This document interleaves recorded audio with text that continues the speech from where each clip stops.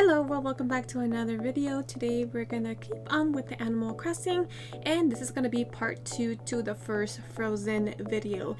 Initially, I was going to be doing three parts to this video by doing maybe like two to three dresses at a time, but you guys surprisingly said that you guys want longer videos, so instead of that, I went ahead and just made this video extra long with all the dresses included, plus a bonus because uh, one of you guys also asked if I could make Kristoff, so I added Kristoff to this video as well since it goes perfectly with the Frozen theme.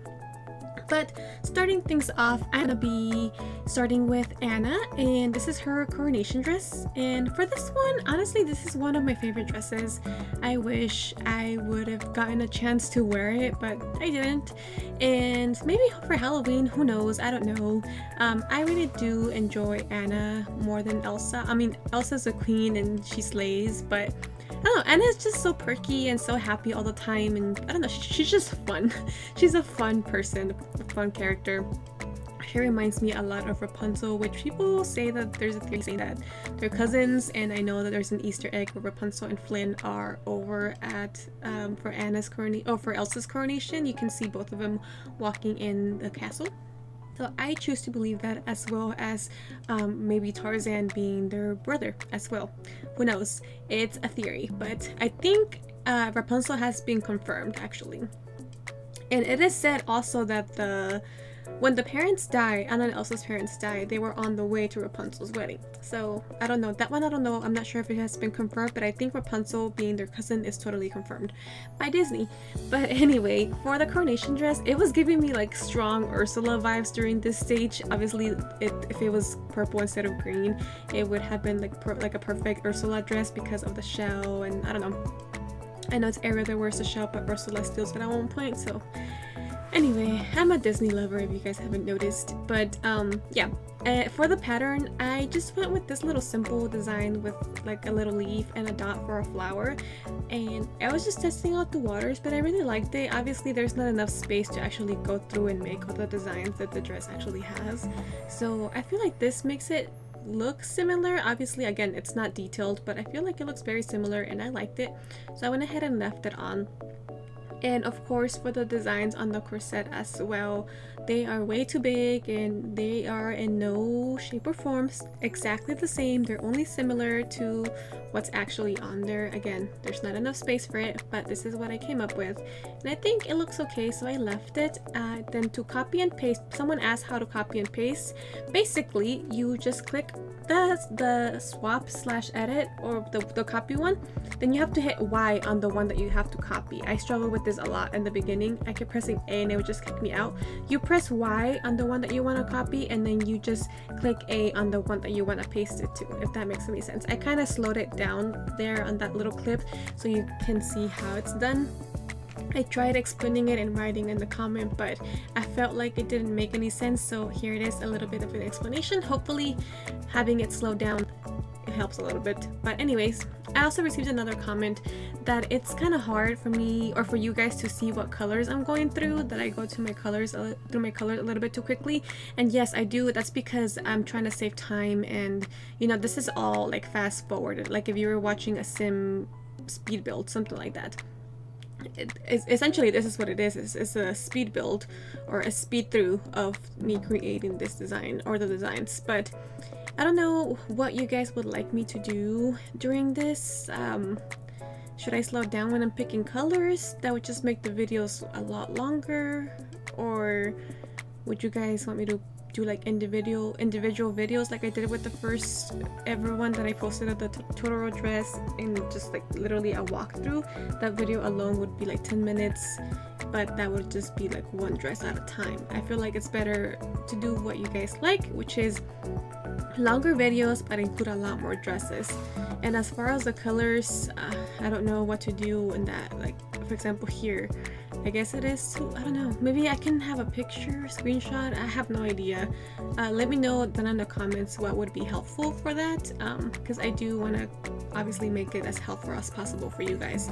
So leave your suggestions down below how I can do that so that I'm not going through fast or again I don't know I don't know what would be the best solution there. But anyways, we're moving on to the Elsa coronation dress. For this one, not gonna lie, it was a little bit, not hard, but just weird because it's all the same color. You guys always hear me say that when it's all the same color, it gets a little bit difficult because it's harder to bring out what you're trying to bring out, what you're trying to emulate. But anyway, she has the same design, well not the same design, but they all have the little designs in the in the corset. So here I am doing it. I do delete it because I don't like it and I redo it again, which I think looks better.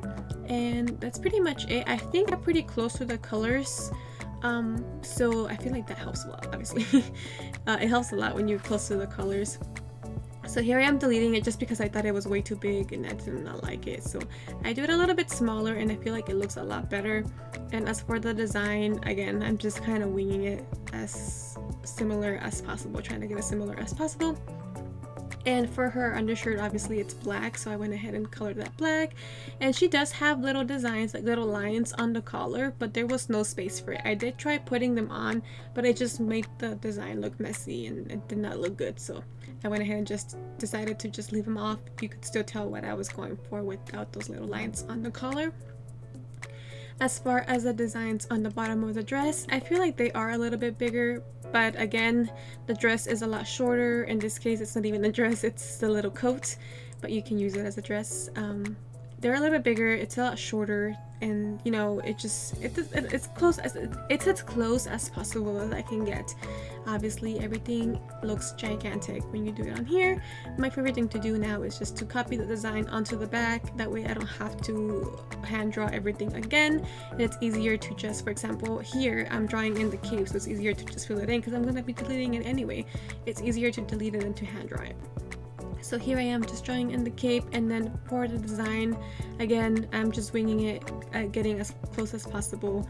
She has kind of like a like a diamond like a flower shape type of thing going on with some like branches at least that's what it looked like to me.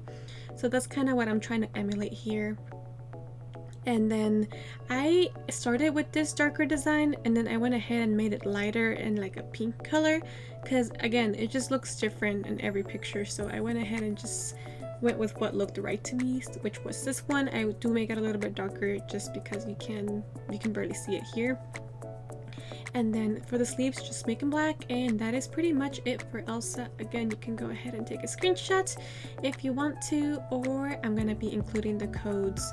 Obviously this is what it looks like. That's a wig by the way that my character is wearing. Here is the code if you just want to go ahead and download it but now we're moving on to, to the third dress and we are back to Anna. For Anna, we went ahead and do the one that she uses when she, this is Frozen 2 by the way, when she goes uh, out, you know, in her exploration dress, I guess you can call it that. So honestly, all of Anna's dresses I love. They are so pretty and they're not repetitive. Like Elsa's, I feel like they're all blue, which I mean, that makes sense. She's the Ice Queen, so blue or white. The last one that she wears is white with some blue still. But Anna just all of the colors put together it's so pretty it's so gorgeous. And this one just because it's black like it's dark colors. Like you barely even like ever see that on a Disney princess. And I mean unless it's like because she wore a dark bluish greenish dress. But anyway like you barely ever see that on princesses. And I really love I love dark colors. So I really love this dress and I love the cape and I love I just love it. It's so pretty. I can't like everything about it it's gorgeous. So here I am with the design. I do try to find a good match for the neck because it's like a yellowish like copperish color.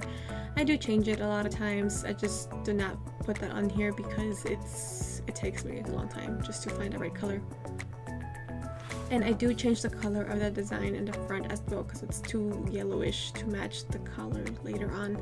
But anyway I added the, uh, the pink on the bottom because that does come out from the bottom of or like through the inside of the cape. It peeks out through the front. This is the belt and then obviously she has a slit on her leg that shows a little bit of leg you know like her her leggings underneath.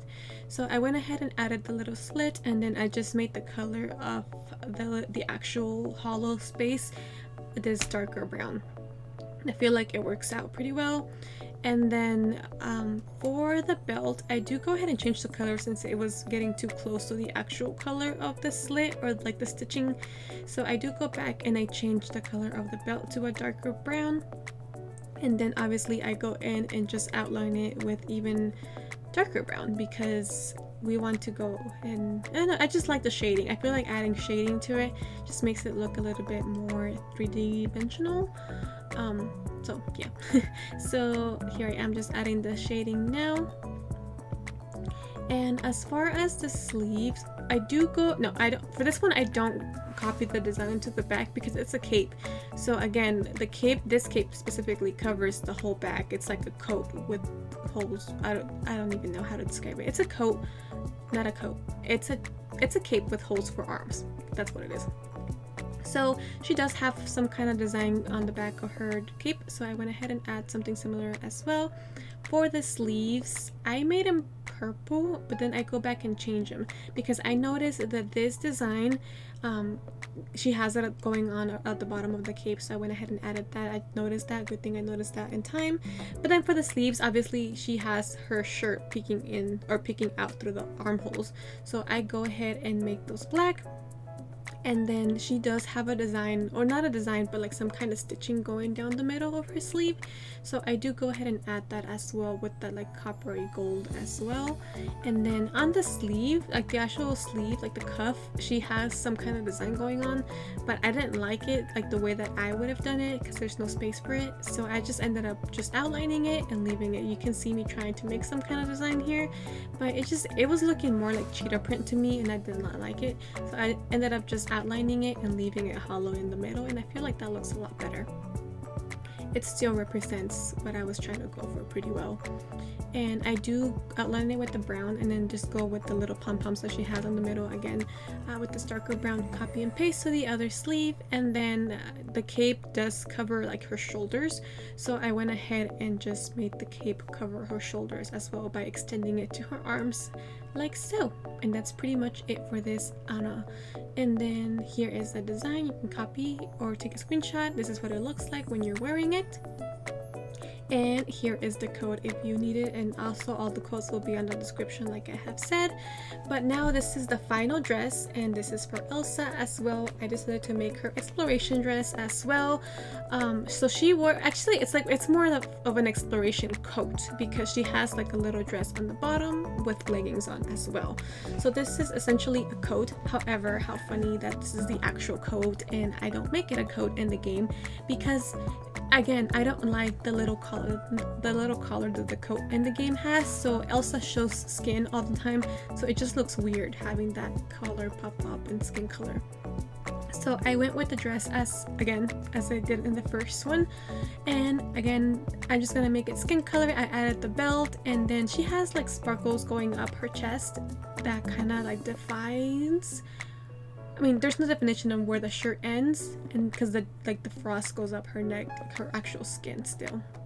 So I went ahead and extended those little shiny parts up to the neck and then she has a snowflake on the belt so here I am just trying my best to make a snowflake design here on the belt. So I come up with this and I think it looks pretty pretty good pretty okay. And for the coat again she has a little slit going down but except she has hers in the middle. So I went and add that and then just you know she has the lighter the lighter leggings so I went with the lighter color again because her dress does show through that she's wearing on the bottom. And she has this little kind of like arrowy snowflake design at the bottom so I tried to emulate that here as best as I can with the little bit of space that I have to work with. And of course it's Elsa so she has some kind of ombre going on on her dress. So here I am just adding the blue so that I can go ahead and make an ombre out of it.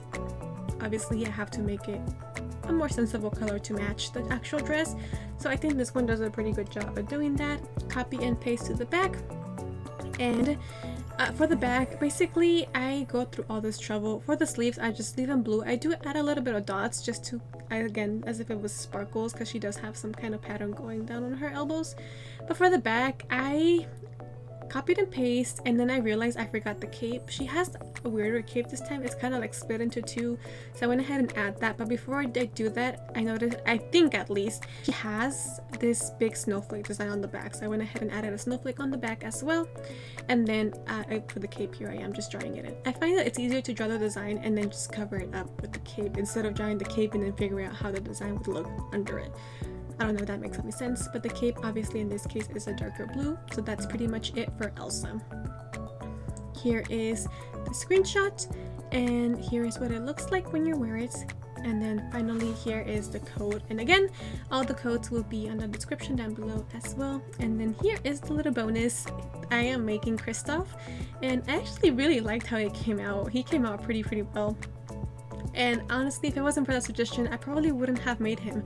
Just because, I don't know, I, I focus on the dresses and I forget about the guys.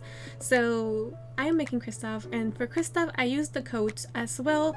And Kristoff is all dark colors again, but it's perfectly fine because it's a guy. You never see an actual princess with dark colors, except for Anna and Merida, like I said.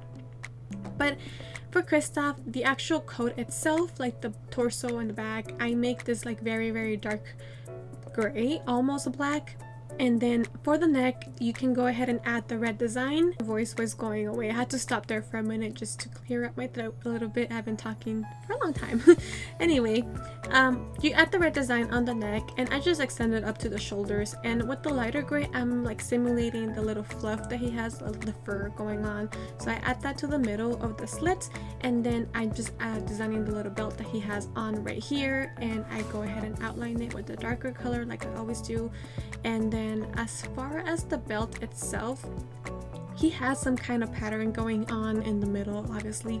So I try my best to emulate that obviously. Again there's no space to actually design the whole thing. So I go ahead and add this light color which I'm gonna change. It's just I grab whatever color I think looks best. It doesn't always look best so I go and I just make this like a more like dirty red like muddy red grayish color and I'm just zigzagging and that's pretty much what ends up working for me here. I'm just gonna go ahead and zigzag and I do the same thing on the one hanging but obviously this one's a little bit thicker so the design looks a little bit different but I think it works out pretty well. And obviously I'm gonna copy and paste to the back and once I do that I'm just gonna go ahead and delete what shouldn't be there on the back. So I'm gonna delete the back this the hanging part of the belt and the actual neck on the back because there's no neck it just continues with the red on the shoulders. And then with the light gray again I like I said I'm gonna be drawing in the fluff that he has the fur. And he has a slit on his jacket as well. So for the middle of the slit where the hole should be uh, I'm just gonna go with the darker. I think it's just like black at that point like the second second almost black. So not all the way to the left where it's black just like one left as you can see. There's one space in between as to where I go on that black. So after that, I just continue with the sleeves. And for the sleeves, obviously it's a jacket, so I have to draw in the jacket like where the sleeves end because he has a long sleeve underneath. So I'm gonna go ahead and draw that in like I did and then just outline it with the fluff again, the fur. And then at the bottom, since he wears gloves, I just went ahead and added this the same dark color of the jacket on the bottom as the cuff and then the actual sleeve is like a bluish greenish grayish color. It's hard to describe but here is Kristoff and then really quickly I did design a hat but there's nothing special to it. Just make it that same gray for the shirt. I'm gonna add this white which I'm gonna later make into a, a lighter gray or a darker gray. I'm just adding black because I'm just trying to design this as quickly as possible since there's not really much detail to it. There I am. I'm just gonna make the white a lighter, darker, darker version of the gray, and that's pretty much it for Kristoff.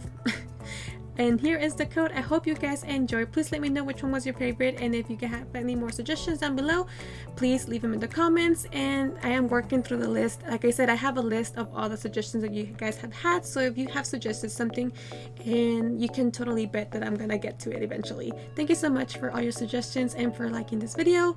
And I will see you guys on the next one. Bye.